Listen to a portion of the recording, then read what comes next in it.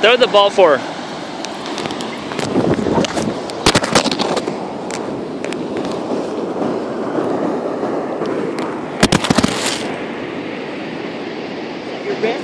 Maybe. Okay, just take it easy.